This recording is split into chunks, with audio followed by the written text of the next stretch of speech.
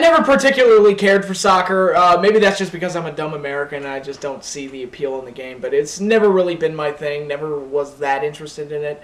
I've watched it a few times, gotten into it a few times, like when our you know U.S. women's soccer team did really well at, at various points. But um, uh, never was like a major hardcore fan of soccer. It just didn't uh, appeal to me. Um, there were certain aspects of the game that didn't make much sense. My my biggest issue with it: why does the clock count up? That doesn't make any sense to me at all. It's uh, very hard for I, I think personally very uh, hard for first time viewers because they don't know when the clock is supposed to stop if it's counting up, and I think that's kind of a problem. And um, you know, I don't think the action is that interesting. I just don't. I, I just never cared for it. And again, if you love it, that's cool. That's your thing. That's awesome. Not everybody likes American football, and that to me is like the greatest game ever played. So, um, yeah, again, that's probably just me being too American. But uh, soccer, European football, never really my thing.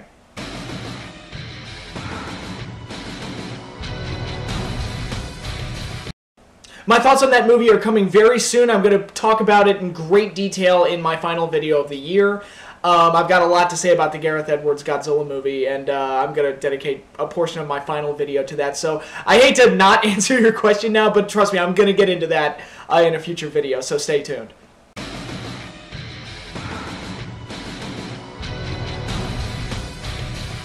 I don't really like the NBA, and I know that sounds horrible, but um, NBA, I never was a huge fan of it. When I was a younger, I was kind of a Chicago Bulls fan. I was kind of a Charlotte Hornets fan, but that's I, that's kind of faded away now. Personally, as far as basketball goes, I do prefer college ball. Um, I root for Wake Forest because that was my dad's alma mater, so we're kind of a Wake Forest family, um, even though I didn't go there. Um, so yeah, I root for them, and I really get excited for March Madness. But for some reason, pro basketball just doesn't really do it for me. I don't even have an answer why. I just think college ball is more interesting.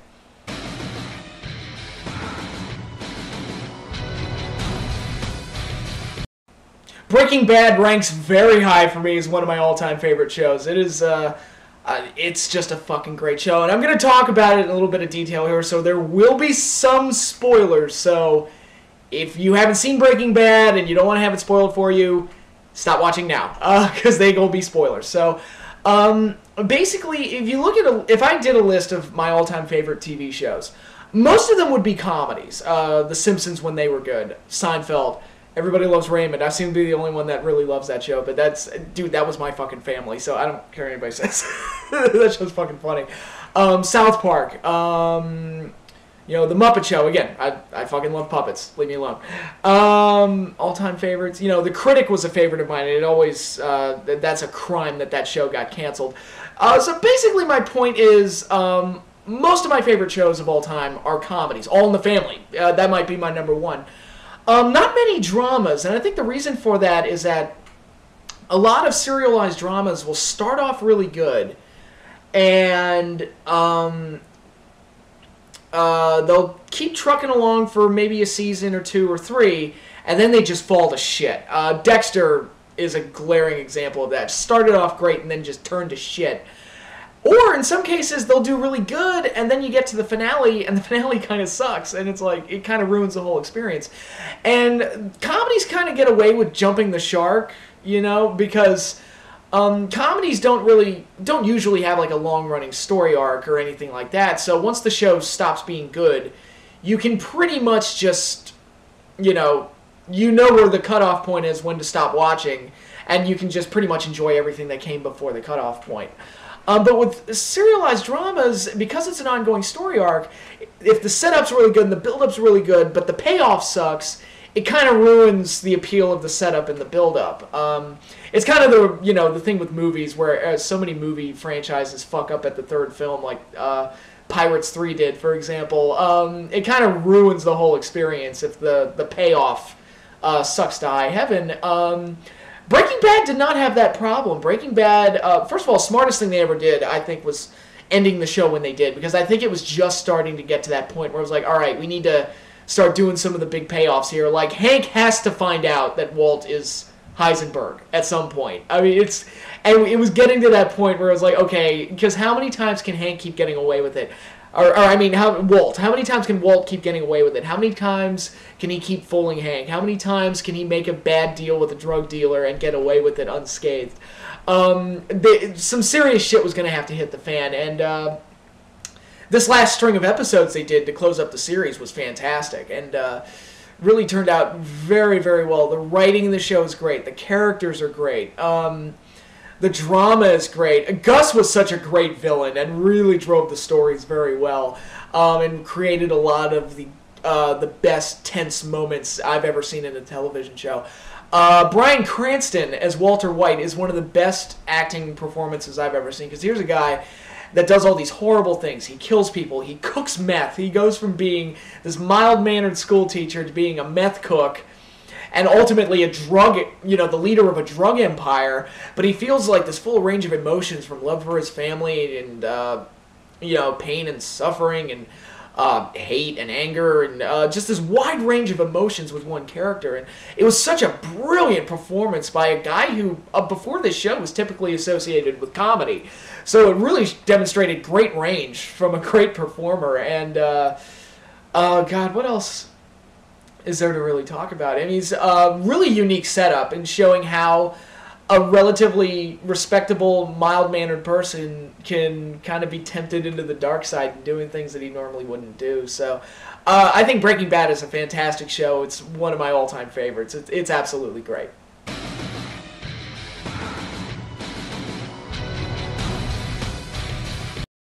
That is a heavy question, dude. To you know, I think I speak for most Americans that lived through that time. That uh, that's not a day that we like to remember. But uh, what happened to me on that day, where I was, was so eerie. Um, I, first of all, I was going to high school in D.C. at the time, so you can imagine how we reacted when we heard that the Pentagon had been hit. Um, we didn't react too well to that, obviously. Um, but it was so eerie that day because we had just gone back to school. And I went to a Catholic school. So, you know, part of going to a Catholic school is that every now and then you got to go to a school mass. And we had the start of the year school mass. And um, all of this was going down. The towers had already been hit, the Pentagon had already been hit, and we knew nothing. Um, and this is before everybody had smartphones. So, um, you know, the, there weren't any whispers or murmurs, or if there were, I didn't hear it. So uh, we got through the mass. The priest said, "The mass has ended. Go now and love and serve the Lord, and peace be with you, and all that stuff." And then the president of the school gets up and tells us what happened, and it's it's so eerie and so like it, it felt like time had just stood still. And to have it, you know, to have that news delivered to you right after. Uh, going to mass, which you know preaches messages about love and uh, you know community and uh, and love and peace and community and all that stuff. To get hit with that news right after uh, sitting through a mass is was really a surreal experience. And then uh, um, we didn't really know how to react until we got back to the classrooms and started seeing the the news footage. And it was like, oh my god, this actually happened. Like. Um, yeah, so that was not uh, not a fun day, obviously, but just the circumstances of how I first heard the news is something I'll never forget because it was, again, it was just such a weird uh, ju- juxtaposition, I guess. I don't know to uh, you know just go through a religious service preaching messages of love and peace, and then get hit with the news that our nation was under attack. It was it was very surreal.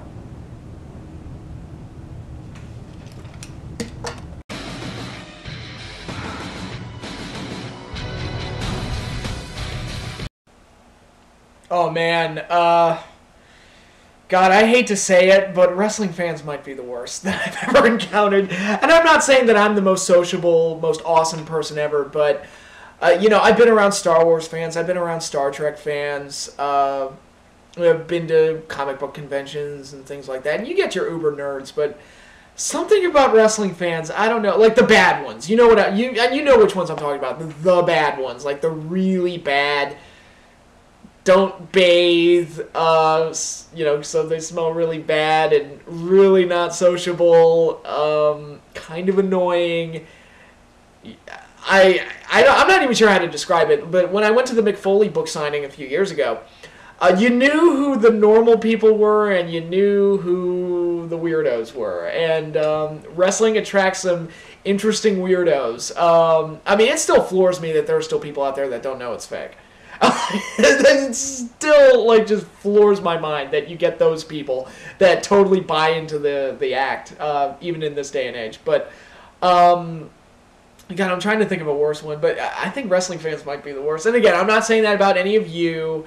Um, you, but if you've been to any kind of wrestling event or convention or anything, you know who the bad fans are, and you know who I'm talking about. So, um, yeah, they tend to be kind of the worst, though. And I, I hate to say that, but it, it's true.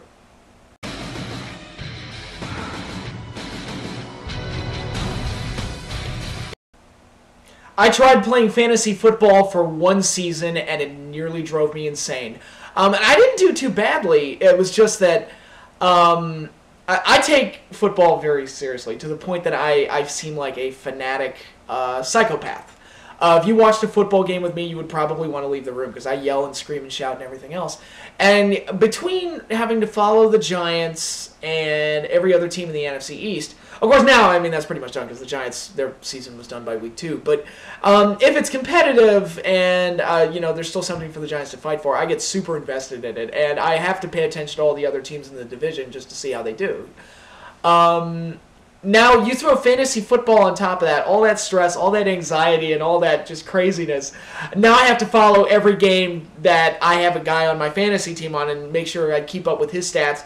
And I got kind of competitive too, and it just drove me insane uh, when guys I put on my fantasy didn't deliver, or I would uh, just hoping that this guy would score a touchdown and get this amount of yards so I could win this game and blah blah blah. And it just drove me crazy. Uh, I, I, think fantasy football is brilliant, but I don't think I have the right temperament or um, uh, what, what what's the word I'm thinking? Well, temperament. We'll just go with that uh, for fantasy football. I just take the game way too fucking seriously to play it, um, and stay a normal, sane person uh, while going through the whole uh, the whole ordeal.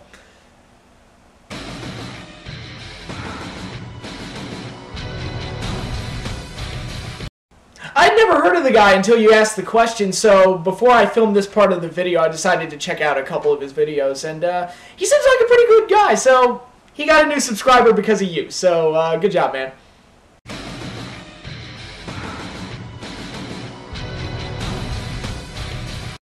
My favorite movies that I saw this year were The World's End, which was uh, the third part of the Cornetto trilogy, uh, following uh, you know, Shaun of the Dead and Hot Fuzz, and loved it. Thought it was really funny. Had all the same great, you know, the snippy dialogue, the great effortless uh, energy that you know those movies seem to have. Edgar Wright, Sean Pegg, and Nick Frost. I mean, they do good work, and uh, that was a really, really, really, really, really good movie. The only bad thing I can say about it is that it wasn't as good as Shaun of the Dead or Hot Fuzz. Oh no, two of the best comedies ever made. It wasn't as good as those two. Oh no, it's the weakest one in the Cornetto trilogy. That's kind of like being the worst Beatle, almost. I mean, it's like, oh no, oh darn, um, didn't live up to to you know the absolute perfect awesomeness. It's only near perfect. Um, and the other movie I really liked this year was Pacific Rim, and that's only because I grew up a big giant monster movie nerd, and I grew up with Voltron and Power Rangers and shit like that. So uh, if you're, you know, if you were like me and you watched Godzilla, Voltron, and Power Rangers a lot as a kid, you're probably gonna like Pacific Rim because it's like Guillermo del Toro traveled back in time and talked to my six-year-old self. and It's like, son, what would you like to see as a movie? And I'd be like, well, I'd like to see um, giant monsters destroying cities and then giant robots showing up to fight them. I'm going to make that into a movie just for you. And uh, so my inner child was thoroughly thrilled with uh, the end result of Pacific Rim. Just great, great shit. Perfect nerd uh, type of movie. The worst movies this year are movies I didn't even see, but I don't need to see them to know that they're bad. Scary Movie 5, Movie 43, and Inappropriate Comedy. And uh, I heard the Seltzer and Friedberg crew made a Hunger Games parody called The Starving Games. I'm like, fuck them. God damn it. I saw no previews for it, but I heard they made it, and it's just like, ah, fuck. But you know, it's really disheartening to me when I see such low ball, low class. Oh, and we'll throw Grown Ups too in there just so I can bash Adam Sandler. Um, but just really low class, low quality, no effort uh, comedies. Um, and to me, comedies should be the easiest type of movie to make. I with when it comes to comedy, I'm willing to forgive bad acting. I am willing to forgive bad uh, stories, like you know plot holes and whatever. Perfect example is Liar Liar. The story of that movie makes no sense. Uh, how did all that happen in one day? I don't know. But you know what? It was funny, and I will forgive it if it's funny. And to me, the scenes in the courtroom in Liar Liar are some of the funniest things I've ever seen. So, fuck, I, like that movie gets a pass for uh, plot holes or whatever. Um, actually, if I were rewriting Liar Liar, I would make it so that the entire movie was in the courtroom because uh, I think that would be really funny to, to do that. But um, but yeah, I'm willing to forgive a lot with a comedy as long as it's funny. When I see Adam Sandler film, you know, basically film him and his friends going out on vacation and then trying to sell that as a movie, or I see movie 43, which is a sketch movie, and it's just it just looks bad from the trailers, and it's just a bunch of one, you, know, one note jokes that they stretch out forever and ever. Um, when I see these awful, uh, uncreative parody movies that continue to make money and continue to be made for whatever goddamn reason, um, it makes me sad because it's like just lowest common denominator bullshit as at its absolute worst. And it's gotten to where it's like, look, I don't even need to see the movies to know that they're crap. And it's because it's the same thing as epic movies, the same thing as disaster movie. Disaster movie might be one of the worst movies I've ever seen. It's up there. Like Garbage Pail Kids is the worst I've ever seen. Disaster movie isn't far behind. So, uh, yeah, and the fact that those type of movies are still being made and there's still an audience for these movies just baffles my mind. Um, uh, I, I just I don't get it. I just don't understand it. Don't get it.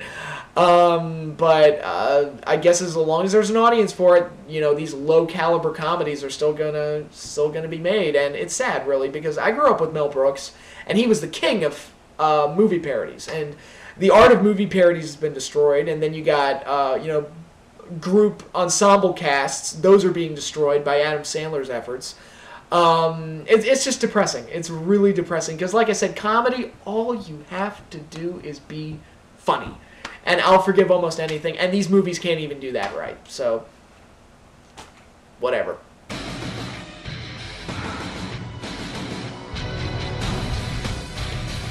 I think she's awful at what she does. She can't sing, can't dance. Her music is terrible.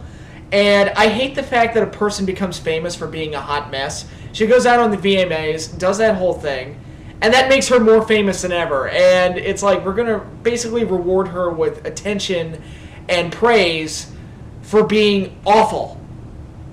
Fine, whatever. I guess that's the way society works. I mean, this, I mean, we're the same society that made Charlie Sheen even bigger than he was before, when he was acting like a complete psychopath. So, okay, fine. That's just the way uh, celebrities, you know, celebrity fame works now. Okay, sure.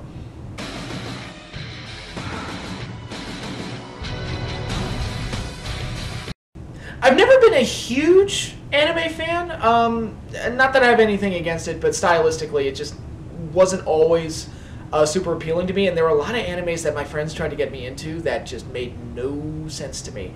Uh, I remember one where a bunch of people fell into a magic river and they turned into panda bears or something, and I was like, I, I don't get it. I just I don't get what I'm seeing right now.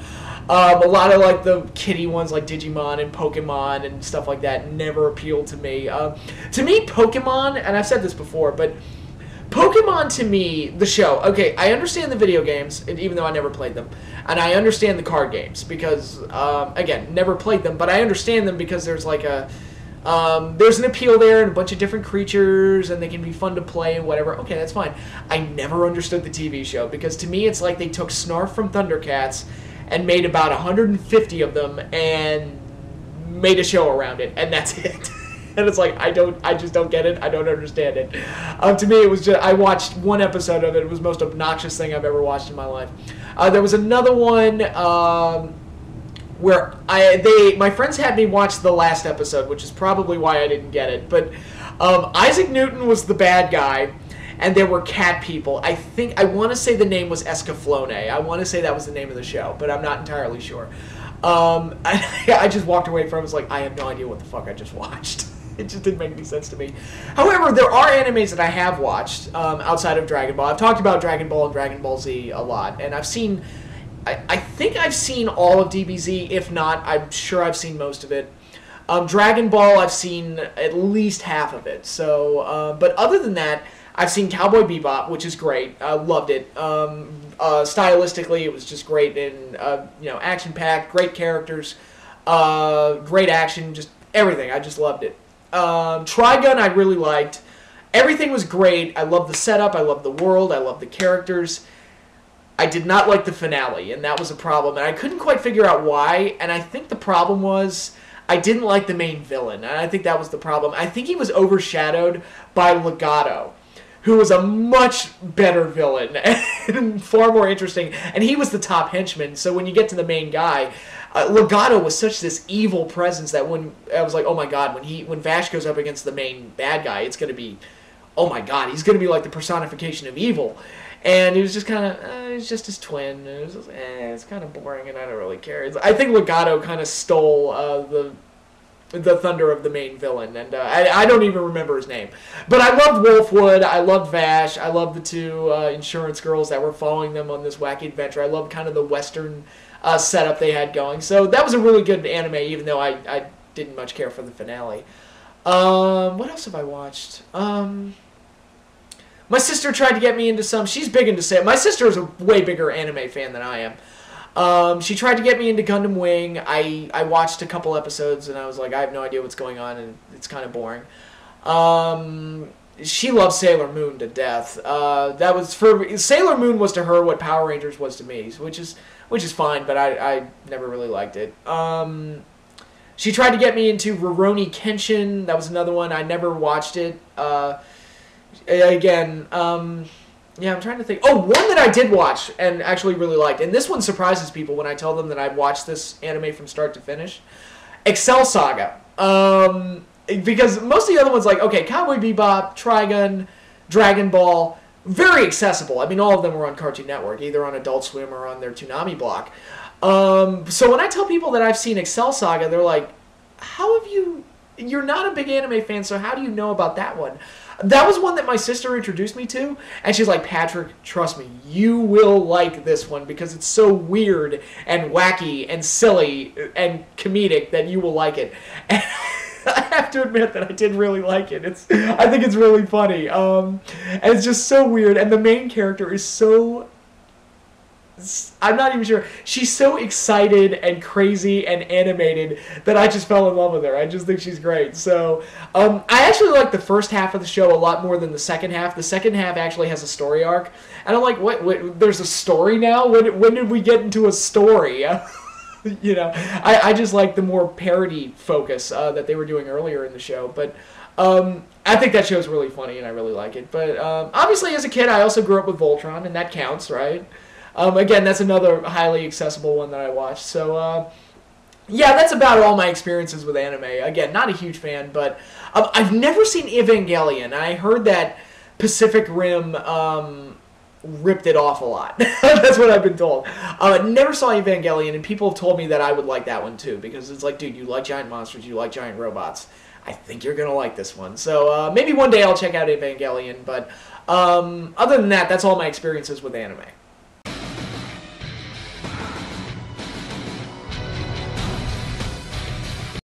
Speaking as a Giants fan, I have the utmost respect for Tom Coughlin as a head coach. Um, I was happy when they first signed him. Uh, we struggled for a bit early on, but eventually it led to uh, great things. I thought uh, his style and his approach to the game was exactly what the Giants needed. Um, and, you know, say whatever you want, two Super Bowls to show for it. Um, no other coach in Giants history can say that except for the great Bill Parcells. So uh, to me, Tom Coughlin, his whole run with the Giants has been wildly successful just for that alone.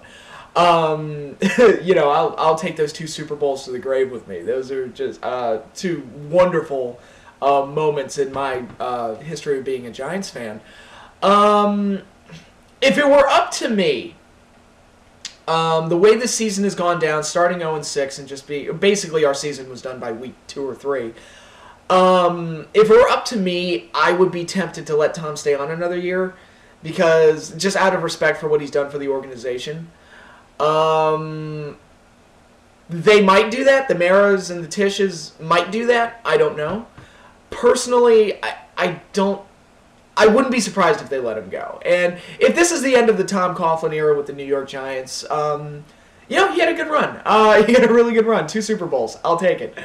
Um, and uh, you know, and no matter what happens, uh, that won't change my opinion of Tom Coughlin as a coach and how happy I ha- I've been with him as the head coach of the New York Giants. So uh, whatever happens, uh, I will always respect Tom Coughlin, uh, and I'm happy that the Giants have had him.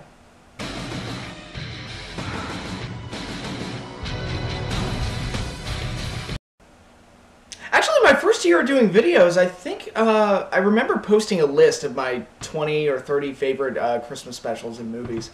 Um, but I'll go ahead and post a revised list here because you know things change and things. Uh, I've discovered some new Christmas specials since then, so uh, yeah, I'll go ahead and post that list. But my number one favorite is uh, Christmas Carol. Which version? Um, I love the Alastair Sim version. I love the George C. Scott version.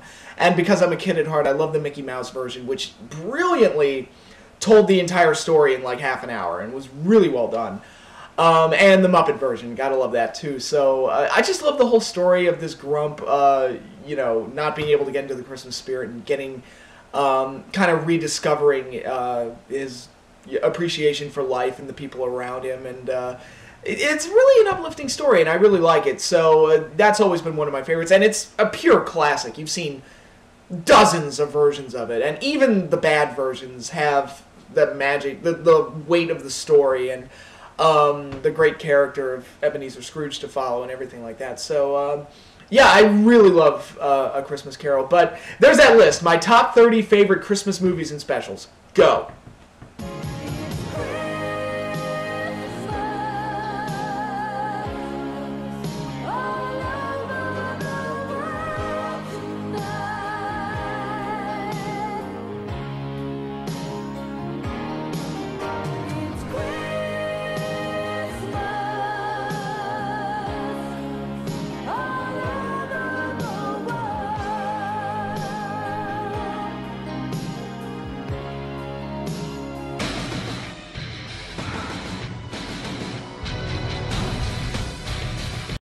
I liked I Am Legend. I thought that was a really cool movie. Uh, because I grew up in the 90s, I gotta say Independence Day, even though that movie's not technically a good movie, but it is an awesome movie. It's one of those guilty pleasure films that is so epic uh, in how goofy and silly it is. But uh, yeah, I do enjoy Independence Day. But my number one favorite Will Smith movie is Men in Black, which I've described it as the Ghostbusters of the 90s. It's just a really great movie imaginative setup, great world, great characters playing off of each other, and Will Smith is fantastic in it. So um, yeah, Men in Black is my absolute favorite he, that he was ever in.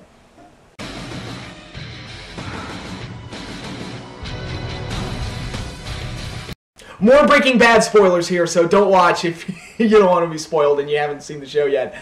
Um, my favorite Breaking Bad character is Walter White because he's just so fascinating and so complex. It's really great to watch the entire show and just see how somebody can go from a you know respectable member of society, teacher, father, you know, husband, all that stuff, and turn into a drug kingpin. Um, that is really fascinating to watch and to see him devolve into a mild mannered man into really a monster, but still feel this full range of emotions. Um, you know, uh, through all of his experiences and his interactions with the people in this world, uh, in both worlds, both his personal life and his, I guess we'll call it his professional life.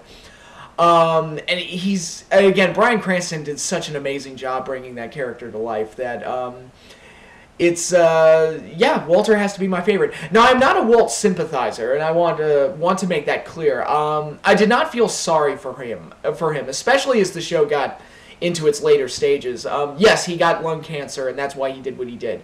That's understandable, but it does is you know he almost uses it as a justification to do more and more terrible things, like uh, letting Jane die and poisoning Brock and um, you know killing Gale. Or hey, he has Jesse kill Gale. Um, all of these things that he does, he kills Mike. He kills all the members in prison just so he doesn't get outed. Um, you know, just over and over and over and over again. And he just keeps getting worse and worse. It's like a snowball, and he drags everybody else down with him.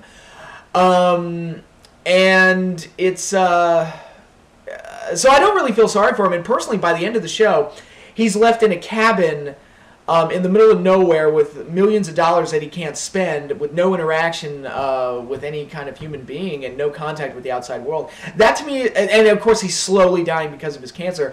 That to me was the ending that he earned for himself. I felt like after what you did to your family and the position that you left them in, after all the things that you did to everybody else, it's kind of like, yeah, you that's the ending you deserve for yourself.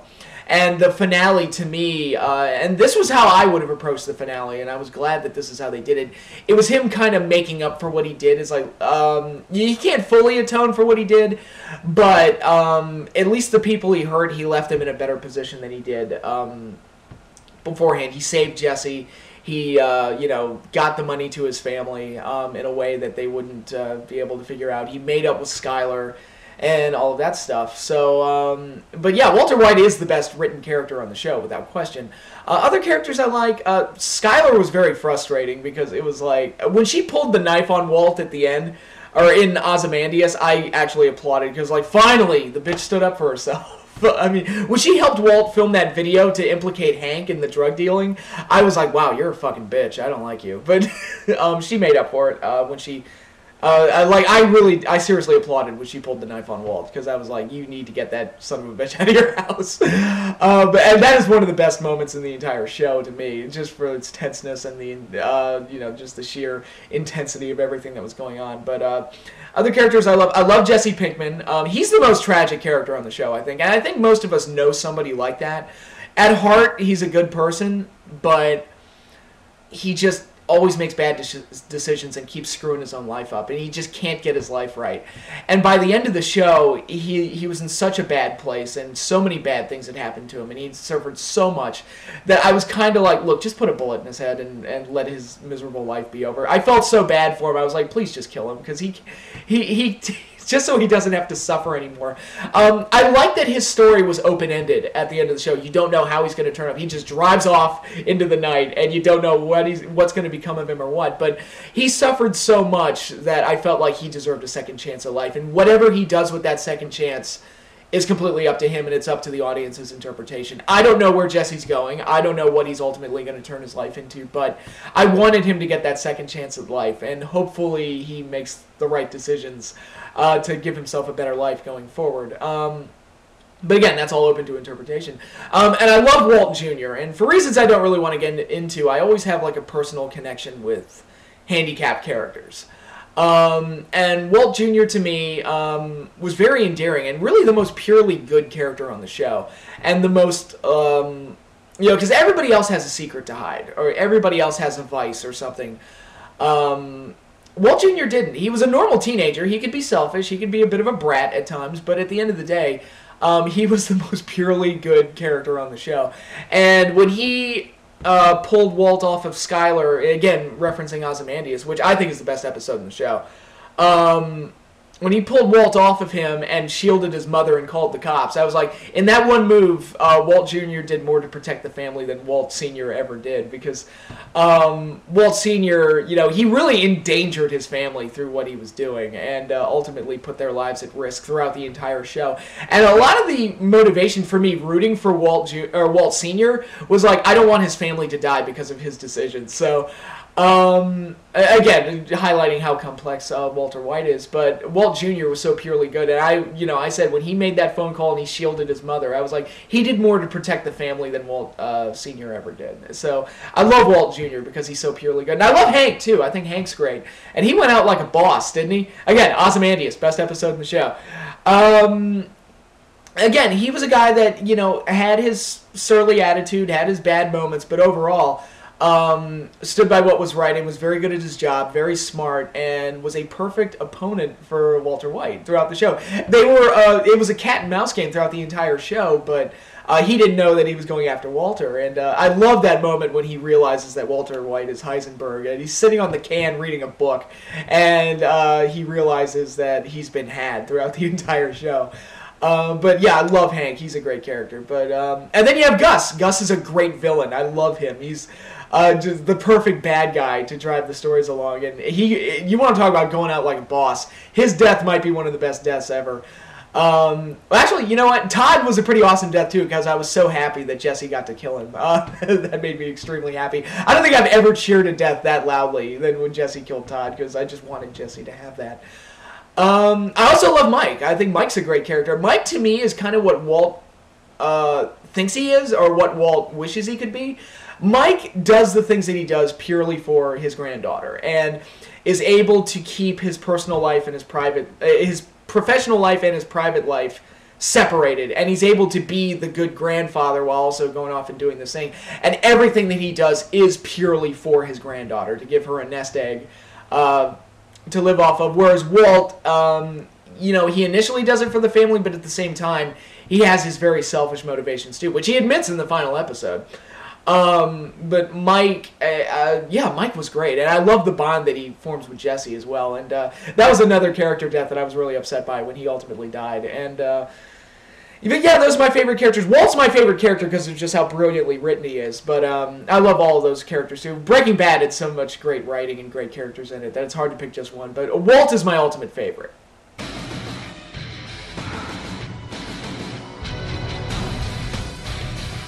When I was a kid, I was a John Elway fan, and because of that, I've always kind of a, had a bit of respect for the Denver Broncos. Um, another one is uh, the Green Bay Packers. I, to me, I look at them and I just see NFL history, their NFL royalty, and just old school NFL. Uh, so I have a lot of respect for that franchise, uh, just for the history they have, and just the you know I love Lambeau Field. Lambeau Field is like the last of the really great um, old school football venues, and uh, but yeah, the Green Bay Packers and the Denver Broncos I've always had kind of a thing for. And the Washington Redskins because I grew up in Washington, D.C. I won't say I'm a fan of theirs, but their fans have always been really cool to me. And we kind of have an understanding with my friends as like, look, if it can't be us, I want your team to win it because we don't want Philly, we don't want Dallas to win it. So it's like, of course, I mean, there's nothing we can do about it this year because both our teams are terrible. But um, it's like we always kind of have that understanding. It's like, look, I'm not going to root for your team, and I'm I'm not going to root for yours. You're not going to root for mine, but we can all agree it's like as long as it's not Philly or Dallas, we'll be okay. So uh, yeah, so I've always had kind of an understanding with the Washington Redskins, and uh, that's kind of cool.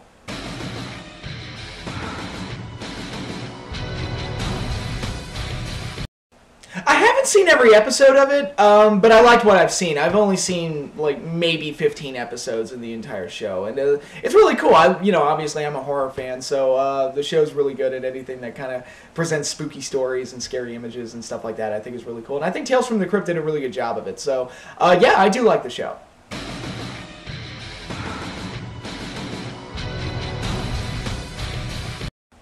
South Park is still pretty awesome. That Game of Thrones parody they just got done with was pretty sweet. Um, other than that, I mean, I've been watching South Park for years, so other than that, I I still like The Big Bang Theory. It's not as good as it was a few years ago, but um, I still watch it, and you know, Sheldon Cooper still makes me laugh. So that's cool. But I think my number one favorite comedy right now is Archer. Uh, that show is fucking amazing. And you want to talk about a show that just was perfect right off the bat? That show won me over with its pilot episode, and, that rarely ever happens. But the pilot was so good, with such great dialogue, such great characters. I was like, oh my god, I'm so gonna love this show. And the show's been fantastic. I just. Uh, you know, love all the running gags. Danger Zone. Um, and just everything about it. I love the interactions between the characters. It really does sound like they're all in the sound booth playing off of each other, and it's like mostly improv, but it's not. They all film their lines one at a time, which uh, really kind of surprised me. I was like, wow, because it really sounded like they were all in the same room, because just the way they play off of each other and the the quick reactions and everything. So uh, they do a really good job with that show and just the line delivery and everything. So uh, yeah, I think Archer's fantastic.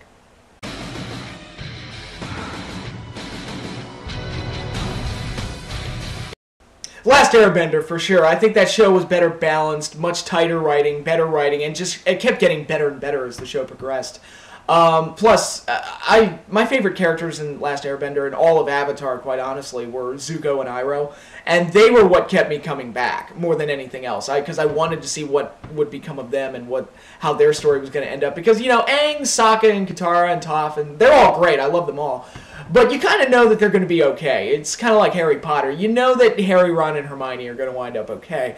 And uh, Last Airbender kind of had that same effect. It's like, all right, you know that the four main kids are going to be all right. Um, but Zuko and Iroh, you know, there was more mystery with them. It's like, is Uncle Iroh gonna die? Is Zuko gonna die? Um, are they gonna turn? Well, I mean, I assumed from the start that they were gonna turn good ultimately because they were just too likable uh, to not eventually have a face turn. But, um, you know, is, is you know is how is Zuko gonna redeem himself? Uh, what's Iroh gonna do uh, once? Uh, you know, where are their loyalties ultimately going to lie? Their story and their relationship was ultimately more interesting to me than anything else in the show. In, in a very good show with many great things, it was their relationship and their story that was the most interesting to me and kept me coming back. And um, by the sh- by the time this show gets into seasons two and three, it's fantastic. It's just flawless. Legend of Korra. Um, season one was great. Great villain, tight writing, great setup great changes to separate it from the original show. Very good. Um, you know, there were a couple mistakes here and there, but overall, it's very good. Season two had some great moments. Um, and the ending, the finale was great, and where everything ends up is great. It's kind of a bumpy road getting there. So the writing was a little sloppy and nowhere near as tight as it had been in season one or in uh, the the three seasons of Last Airbender. Um, and, again, the finale was good enough to where I kind of see where they were going with it, and I was like, okay. Um, I, I, like where they ended up, but getting there was kind of a rocky road. Um, uh, the villain was boring as hell. Unalaq, whatever his name was, he was boring as fuck. and by far the weakest villain in all of Avatar. I mean, when you look at the villains we had, like, Zuko started off as a villain. He was awesome. Commander Zhao was awesome. Uh, Azula was fantastic. Lord uh, Fire Lord Ozai was great. Amon was fucking amazing uh, in season one of Korra. And then you get to this boring piece of blah, Unalaq, and I just I just didn't care about him at all whatsoever. And if you have a, a boring villain, that tends to hurt the, the overall story. That was actually my major problem with Thor: The Dark World. Is like not a bad movie, but that villain was boring as hell. But um, yeah, uh, Korra season two was a bit of a bumpy road. Um, although it did have some really good stuff, like the origins of how the Avatar was first created, and like I said, the finale was good and things like that. But then a lot of the other subplots ultimately went nowhere. Um, they revisited the love triangle, which was stupid. Um, so yeah, I, I, don't think Korra quite has the same balance and tightness that the original show did. So obviously, I'm going to lean towards the original show as being the better one.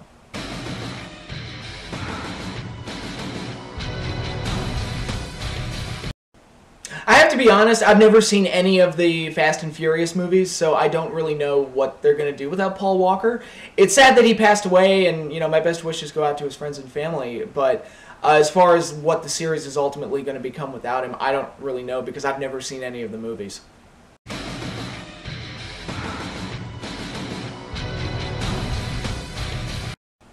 You know, it's weird. I actually never quite got over some of my first crushes when I was a kid, like Amy Jo Johnson, who was the Pink Power Ranger, and Kelly Kapowski from Saved by the Bell, Tiffani Amber Thiessen, um, Jennifer Connelly. I, I watched Labyrinth at four years old, and I absolutely fell in love with her. Now I look creepy because I'm, you know, in my late 20s, and uh, she was like 15 when she made that movie. So now me ogling her while watching Labyrinth would just make me sick. The Rocketeer, however, is perfectly okay. Um, uh, yeah, so you never quite get over your first crushes or whatever. Uh, Miss Elizabeth was also a big one. Um, but right now, my top celebrity crush probably Jennifer Lawrence, and I've never seen The Hunger Games because I wanted to read the books first before I watched the movies. I hear they're really good, so um, and I hear this last one that they just released was amazing. But um, she just seems like a really cool person. I saw her in X Men First Class obviously, and she was great in that. And uh, I saw her in Silver Lining Playbook, and she was great in that too. She just seems like a really cool person. I've seen her in interviews and stuff. She's just really cool, very charming, very likable, and obviously, you know, cute as a button. So that also helps. But uh, yeah, Jennifer Lawrence, I, I think she's really awesome.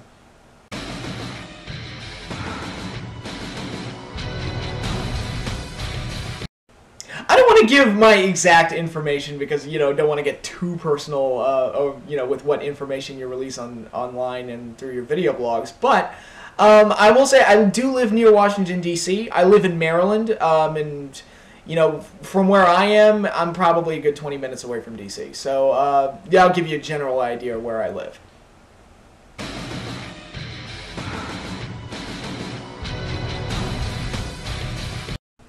Well, this year he's in the bottom 10, but, uh, you know, so's the Giants team as a whole. Um, looking over his whole body of work, and typically, though, um, especially since he won the first Super Bowl and, um, you know, kind of the resume he's built for himself since then, I wouldn't put him on the same level of his brother, and I wouldn't put him on the same level as Brady or, you know, Rodgers or Brees or those guys, but he's probably I would say he's the next step down. I wouldn't say he's in the top five, but um, I'd, I'd give him you know top ten at worst, top fifteen. Um, and yes, he has his mistakes where he throws his interceptions, and trust me, it's frustrating. But at the same time, you know, you never feel like the game's over as long as you have Eli Manning under center, and that's kind of a weird feeling, I know. But he's had some amazing comebacks in his day, so um, and I, you know, overall, with through all the good and the bad, the peaks and the valleys, um, like I said about Coughlin, it's like you know, with Eli, we won two Super Bowls, so I'll certainly take that. So as a Giants fan, I appreciate Eli greatly, but um, realistically speaking, I don't put him in like the super super elite class of Brady or his brother, but. Um, you know, like I said, I typically hold him in a fairly high regard. Reasonable expectations, of course, but um, yeah, I'd say that's about right.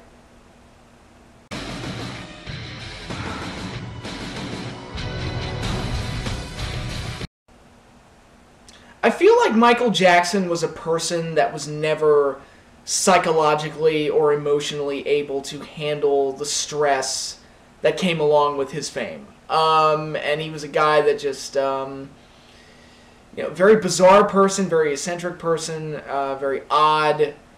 Um, obviously, there were the allegations that were brought up against him. Um, were they true? Were they not?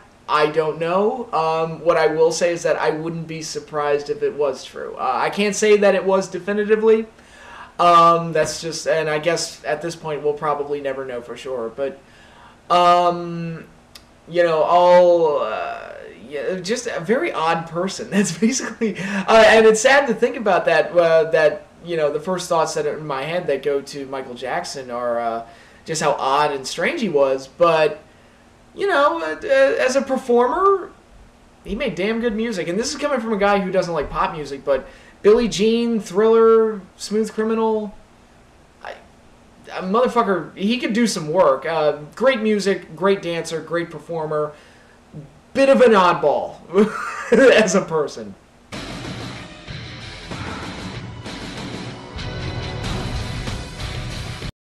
To be perfectly honest, none. I think Breaking Bad is perfect the way it is. Uh, let the story stand on its own, and you don't need any other material. I think it's.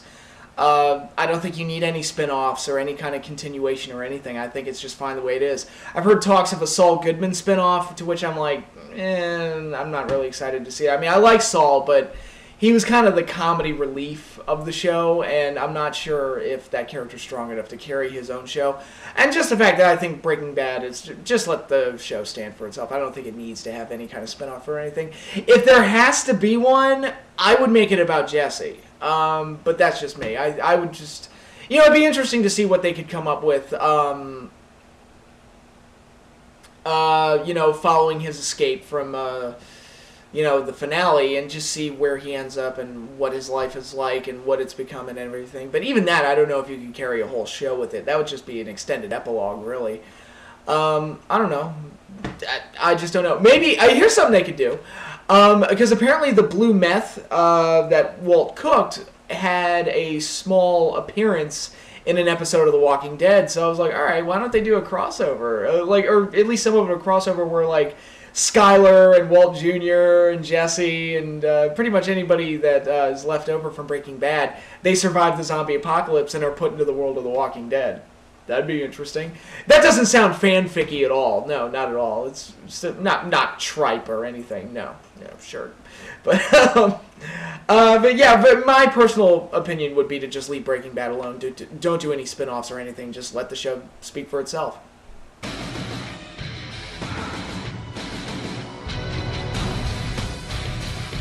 Not a fan of that decision. Not a fan of that casting choice. And it's not that I hate Ben Affleck.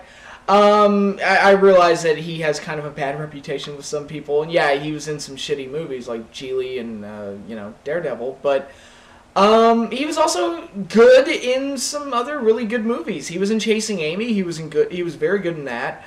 Um, he was in Argo. He wrote and directed that as well. I think. Uh, I think he wrote it. I'm not sure. I know he directed it. Uh, had the starring role in that and did very well in that. So it's not that he's a bad performer or anything, or you know doesn't have a good creative mind. Uh, he also directed The Town, um, which is also very good. Um, my problem with the decision is that I think Ben Affleck is just too distracting.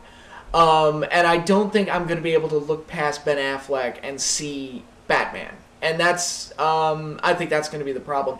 The only thing I can really compare it to, in my mind, that, you know, makes sense to me, I remember when Mary Shelley's Frankenstein came out, and I don't know who made this decision, but the Frankenstein monster was played by Robert De Niro.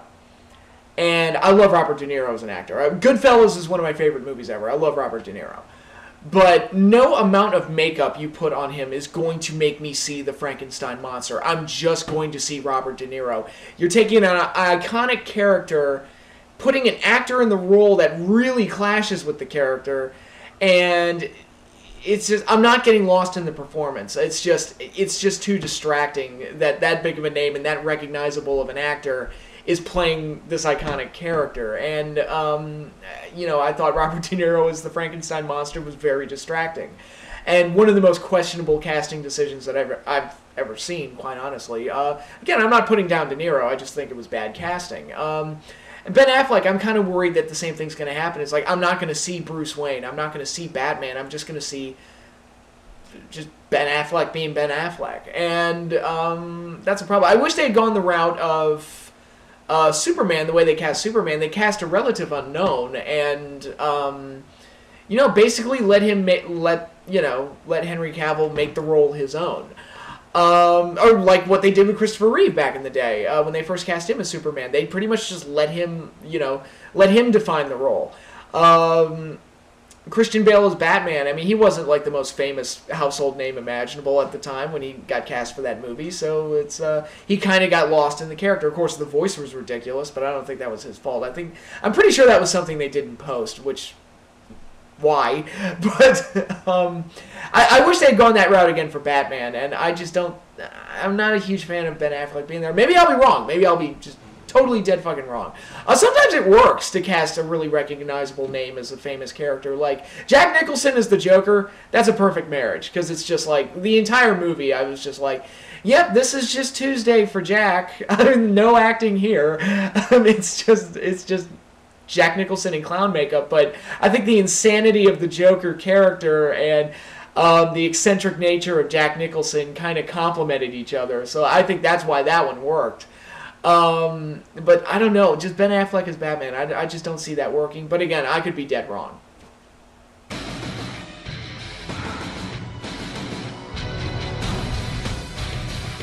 It was a good episode. I'll, I'll give them that. But uh, was it a good move in the long run?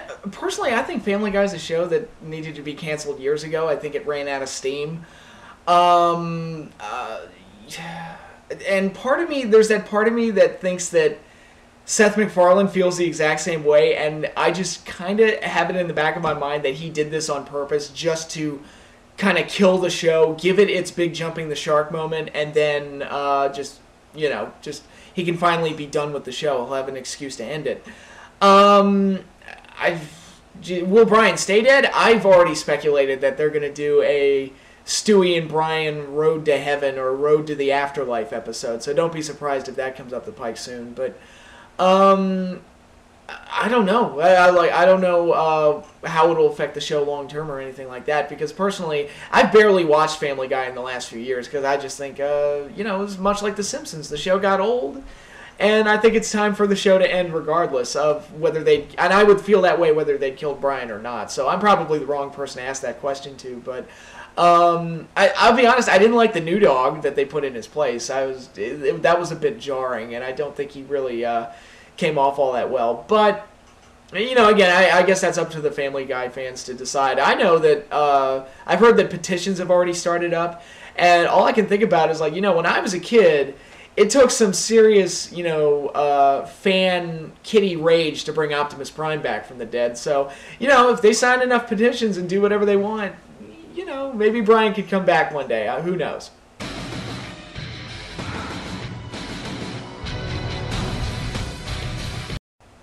Yes, I did. And I graduated too. Go me!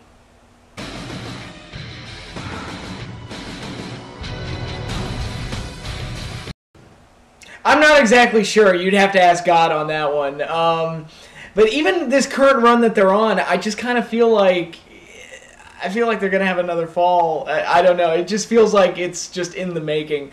Um, because they haven't really beat anybody that good. They beat us twice, and we suck. They beat, they barely beat the Raiders at home, and the Raiders are terrible.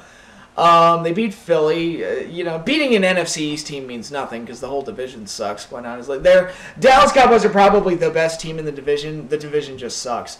Um, they're just mediocre, uh, and everybody else is. Well, I mean, Eagles have been decent lately, but um, yeah, I don't think they've really beaten anybody of any kind of major consequence. So I'm not convinced that they're going to be able to. You know, they get into the playoffs, and you know, you put them up against Seattle or um, New Orleans or uh, one of you know one of the really good teams. I just don't see them matching up. But who knows? I could be wrong. Maybe this will be Tony's year.